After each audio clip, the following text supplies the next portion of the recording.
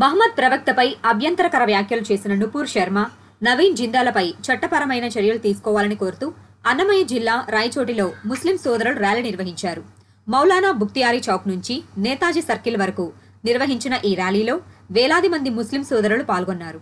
Netaji circle వద్ద జాతీయ రహదారిపై బైఠాయించి దేశంలో కులమతాల పేరుతో వివాదాలు సృష్టించి ఇతర మతాలను కించపరిచే వ్యక్తులు ఎవరైనా సరే శిక్షార్హులుగా పరిగణించి చట్టపరమైన చర్యలు తీసుకోవాలని డిమాండ్ చేశారు.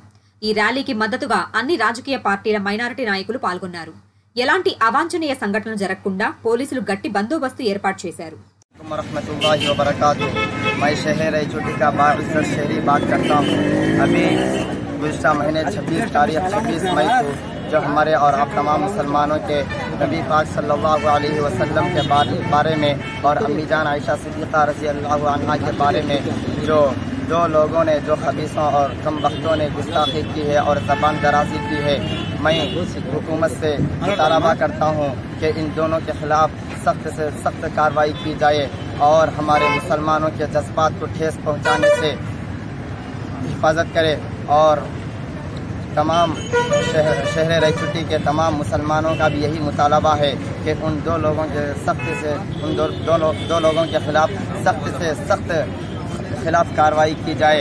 यह उसमें से बीजेपी की तर्जुमान नोपुर शर्मा है और दूसरा दिल्ली के मीडिया इंचार्ज नवीन जंजाल ने इन दो शख्सों ने गुस्ताखी की है। यह हमें ज़रा बराबर भी बर्दाश्त नहीं है। अल्लाह के ख़िलाफ़, रसूलुल्लाह के ख़िलाफ़, मसाजिद के ख़िलाफ़, पर्दे के ख़िलाफ़, इस्लाम के ख़िलाफ़ बोलना हमें ज़रा बराबर भी बर्दाश्त नहीं है। हम हर चीज़ बर्दाश्त कर सकते हैं। हम अपनी जान भी कटा सकते हैं, लेकिन इनके बारे में हम ज़रा भी सुनने को बर्दाश्त नहीं कर सकते हैं। आमीना। रबीआलमीन आज जो है अलहमदिल्ला शहर रायचोटी अन्नमय ज़िला से पुरअमन तरीक़े के साथ किसी को तकलीफ़ पहुँचाए बगैर, ट्रैफ़िक को तकलीफ़ दिए बगैर अलहमदिल्ला हम सरकार तो सरकार तो आलम वसल्लम के शान में जो गुस्ताखी की गई गुस्ताखों को जेल में डालने के हम मुतालबा करते हैं। और इसी तरह हमारे ए पी के चीफ मिनिस्टर जगन मोहन रेड्डी जगन मोहन रेड्डी साहब से हम अपील करते हैं कि इनको सरकारी तौर पर अरेस्ट करने की दरख्वास्त करते हैं। जितना जल्द हो सके उनको जल्द अरेस्ट जेल में पहुँचा दिया जाए। सिर्फ़ उनको पार्टी से निकालना हमारे लिए काफ़ी नहीं है। वह पार्टी से चाहते हैं कि किसी भी हाल में, हर हाल में उसको जेल पहुँचा दिया जाए। अगर वही दूसरा कोई काम करता मामूली से तो उसको ले आकर स्टेशन के अंदर पहुँचा दिया जाता है। इतनी बड़ी कम्युनिटी के नबी के ऊपर गुस्ताखी करने वालों पर अब तक वो बाहर है तो क्यों समझ में नहीं आ रहा है कि जहाँ तक हो सके, जितना जल्द हो सके उसको अरेस्ट किया जाए और तमाम मुस्लिम कम्युनिटी के दिलों को सुकून पहुँचाया जाए। अगर ये काम कर लेगी बीजेपी इंशाअल्लाह इंशाअल्लाह तारीख के अंदर आपका नाम लिख दिया जाएगा कि सरकार दो आलम सल्लल्लाहु अलैहि वसल्लम के शान में गुस्ताख के गुस्ताखी करने वाले आपके पार्टियों को आपने निकाला और इसके साथ ही साथ जेल में पहुँचा दिया। तो तमाम हिंदुस्तान बल्कि जितने भी ममालिक हैं गल्फ कंट्रीज़ हैं, जितने भी कंट्रीज़ हैं, ये सब आपका शुक्रिया अदा करेंगे। तहे दिल से मुबारक पेश करेंगे।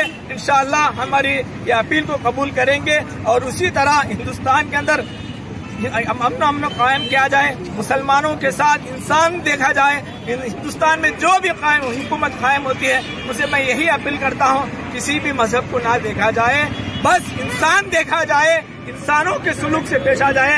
आज हिंदुस्तान के अंदर हिंदू मुसलमानों के साथ इतना बदसलूक किया जाता है, इतना बदसलूक किया जाता है कि दरिंदों से भी ज़्यादा बदसलूक किया जाता है। कभी रोड पर कोई बच्चा कुत्ते को बंडा मारता है, पत्थर मारता है तो आदमी छोटे दूसरे लोग अल्लाते थे, मगर इंसान काटा जा रहा है, मारा जा रहा है। घर फोड़ा जा रहा है, सब कुछ किया जा रहा है, मगर इसके ऊपर कोई एक्शन नहीं लेती है। बस इसे इसलिए हुकूमत को चाहिए कि इसके बारे में एक्शन लिया जाए, हिंदुस्तान के दौरान अमन अमन कायम किया जाए। इसके अलावा इकोनॉमिकल तौर पर भी हिंदुस्तान पीछे हो जा रहा है। इसके तो तरफ़ भी गौर किया जाए, आज बहुत सारी चीज़ें महँगी होती जा रही इसके तरफ़ गौर किया जाए, मजहबों को लड़ाने से क्या मिलेगा? मजहबों को लड़ाने से कुछ भी नहीं मिलेगा। यही एक नाम मिलेगा। तारीख के अंदर दो हज़ार दो आठ साल से ये लड़ाती थी, मरवाती थी। यही एक बात मिलेगी यही कहना चाहता हूँ। वो आखिर अलहमदिल्ला